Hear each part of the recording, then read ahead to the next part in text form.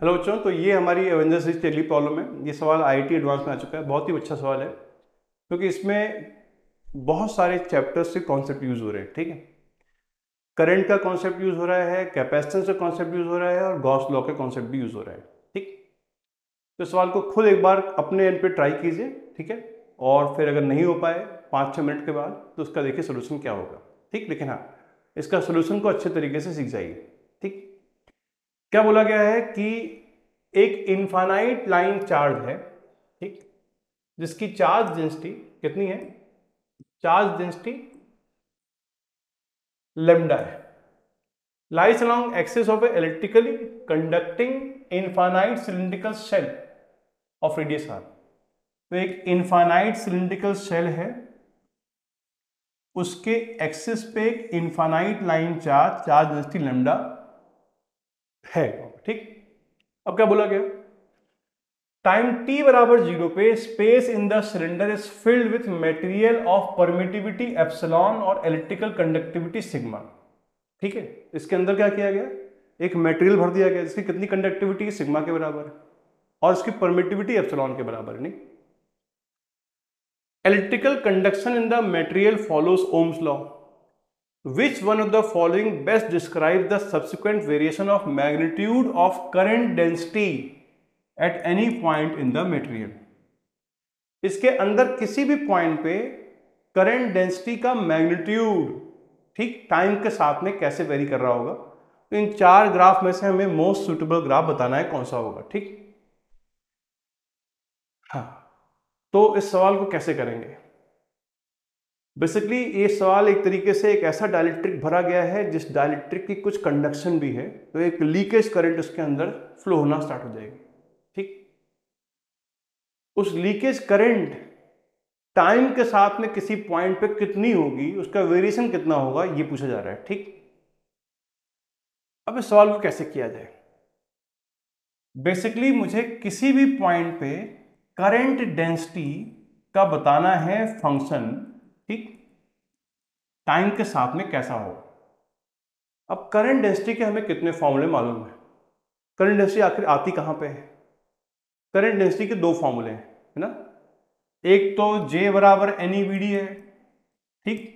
लेकिन वो यहाँ पे कहीं यूज़ नहीं होने वाला है ना? क्योंकि ट्रिफिलॉसिक कोई बात नहीं हो रही है। दूसरा फॉर्मूला जे का, ये वाला भी है रो बराबर ई बाई जे भी होता है, नहीं? किसी भी पॉइंट पे electric field upon current density क्या होती है? रेजिस्टिविटी होती है। एंड दस, जे बराबर कितना आ जाएगा? ई बाई रो या सिग्मा इंटू ई जहाँ सिग्मा उसकी इलेक्ट्रिकल कंडक्टिविटी होगी, जो कि दे रखी सवाल में, ठीक? तो करंट डेंसिटी हमें किसी भी पॉइंट पे आकर मिलेगी कैसे? अगर उस पॉइंट पे हम इलेक्ट्रिक फ़ील्ड निकाल लें। अब किसी भी पॉइंट पे इलेक्ट्रिक फ़ील्ड कैसे मिलेगी? ये सवाल है। इलेक्ट्रिक फ़ील्ड कैसे मिलेगी? दो ही तरीके इलेक्ट्रिक फ़ील्ड निकालने के। एक गॉस लॉ है एक, एक कूलम्स लॉ है। यहाँ पे गॉस लॉ साफ़ साफ़ दिख रहा है लग जाएगा क्योंकि सिमेट्रिकल केस है नहीं? तो अगर हम गॉस लॉ लगाने के लिए क्या करें? अगर हम एक ऐसा गॉसिन सरफेस बनाएँ अगर हम एक ऐसा गॉसिन सरफेस बनाएँ ठीक? जो उस पॉइंट से पास कर रहा हो सिलिंड्रिकल जहाँ पे इलेक्ट्रिक फ़ील्ड चाहिए उसकी लंबाई मान लेते हैं एल है उसका रेडियस आर है। इस गॉसिन सरफेस के लिए जब हम गॉस लॉ लगाएँगे तो इसमें इलेक्ट्रिक फ़ील्ड कैसे होगी? किसी भी पॉइंट पे ऐसे रेडली आउटवर्ड होगी, है ना? इस गॉसियन सरफेस के लिए जब हम गॉस लॉ लगाएँगे तो क्या लिखेंगे हम लोग? हम लोग लिखेंगे ई डॉट डी ए का इंटीग्रल बराबर क्यू बाय एप्सिलॉन बोलो? नहीं, ये ये नहीं लिखेंगे। क्यों? क्योंकि जब डायलेक्ट्रिक में लिखते हैं हम लोग गॉस लॉ तो हमें क्या करना पड़ता है? हमें उसकी डायलिट्रिक कांस्टेंट के से भी मल्टीप्लाई करना पड़ता है। अगर हम यहाँ पे फ्री चार्ज ले रहे हैं, उसके अंदर कितना होगा, ठीक? जहाँ क्यू सिलेंडर के अंदर का चार्ज हो, है ना? अब डायलिट्रिक कांस्टेंट कितना होता है? डायलिट्रिक कांस्टेंट होता है epsilon upon epsilon not E dot D A का इंटीग्रल। पूरे पूरे क्लोज सरफेस पे बराबर क्यू बाय एप्सलॉन हो जाएगा, एप्सलॉन नॉट हो जाएगा, ये कैंसिल हो जाएगा। एप्सिलॉन नॉट, ठीक? एंड दस हमारे पास क्या आ जाएगा? सिमेट्रिकल केस है इलेक्ट्रिक फ़ील्ड ऐसे रेडली बाहर जा रही है सिलेंड्रिकली सिमेट्रिकल इलेक्ट्रिक फ़ील्ड है तो क्या हो जाएगा? ई डॉट डी कंटिल कितना आ जाएगा?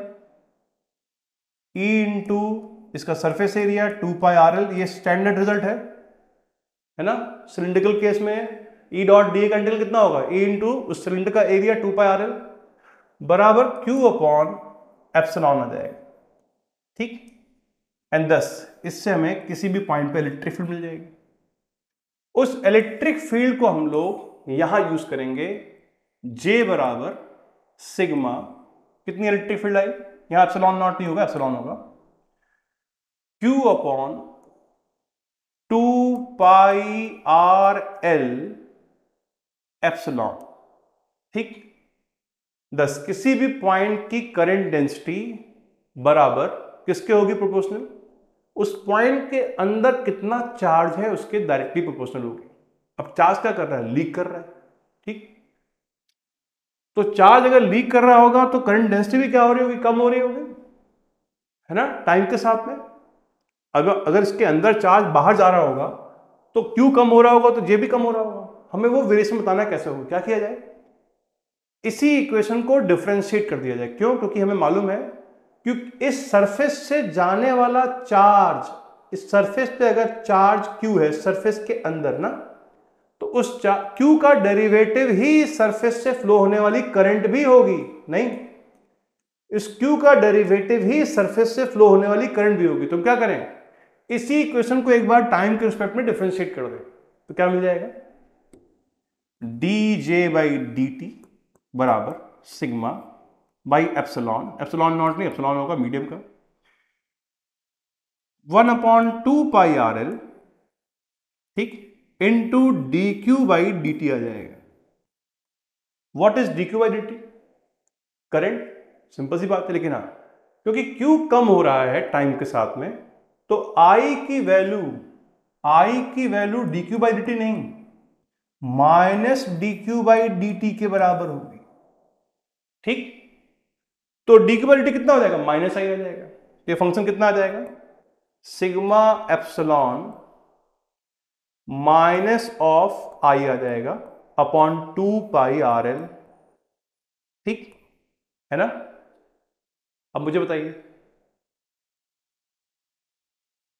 डीजे बाई डी टी बराबर सिग्मा बाई एप्सलॉन उस मीडियम की permittivity upon I upon two pi और आई जो करंट इस सिलेंडर से के एरिया से जा रही है अपॉन टू पाई आर क्या होगा? जे ही तो होगा। क्या बन जाएगा function DJ by D T बराबर minus sigma by epsilon into J ठीक?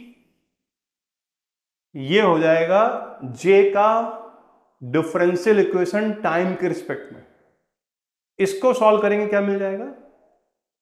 हमें मिल जाएगा क्या? J as a function of time कैसे सॉल्व किया जाए? ये स्टैंडर्ड इक्वेशन है, बहुत बार आ चुकी पहले। D J by J variable separation से बराबर minus sigma by epsilon D T यहाँ ले गए। तो वेरिएबल हमने किया सेपरेट दोनों साइड में कर दिया इंटीग्रल ठीक? क्या आ जाएगा? एल एन स्टार्टिंग में अगर जे नॉट हो, बाद में जे हो गया हो L N J by J not बराबर minus sigma by epsilon T आ जाएगा। इसे कर दें एक्सपोनेंट फॉर्म में तो क्या मिल जाएगा हमें? फाइनल जो हमें फ़ंक्शन मिलेगा, वो जे बराबर जे नॉट ई की power minus sigma by epsilon T मिलेगा। दस जे टाइम के साथ में एक्सपोनेंशियली कम होता जा रहा होगा ठीक? ये कौन सा फ़ंक्शन है? एक्सपोनेंशियल डिके का फ़ंक्शन है। जैसे न्यूक्लियर या रेडियोटिव डिके में होता है। एक्सपोनेंशियल डिके का फ़ंक्शन है। इनमें से कौन सा ग्राफ एक्सपोनेंशियल डिके का है? ये वाला ग्राफ है। ये इसका आंसर है। सेकंड वाला। एक्सपोनेंशियल डिके क्योंकि फाइनली क्या होगा? बहुत समय के बाद करंट डेंसिटी ज़ीरो भी हो जाएगी, सारा चार्ज बाहर आ जाएगा। ठीक? चलिए। तो ये देखिए कितना बढ़िया सवाल है। एक सवाल में कितने मल्टीपल कॉन्सेप्ट्स ना फंडामेंटल लेवल पे एडवांस में पूछे गए हैं, ठीक है? अगर आपके कॉन्सेप्ट क्लियर नहीं है, ठीक है? तो आप ऐसे सवाल को बिल्कुल भी कभी भी अप्रोच नहीं कर पाओगे, क्योंकि वहाँ पे आपको सारी चीज़ों को दिमाग में रखते हुए बेसिक्स है ना जो कहते हैं ना फंडामेंटल्स को चेक करने वाली बात। तो यहाँ पे आपके प्रॉपर तरीके से फंडामेंटल्स चेक किए गए ठीक है फिर? हम लोग मिलते रहेंगे अगले एवेंजर सीरीज़ में। Bye bye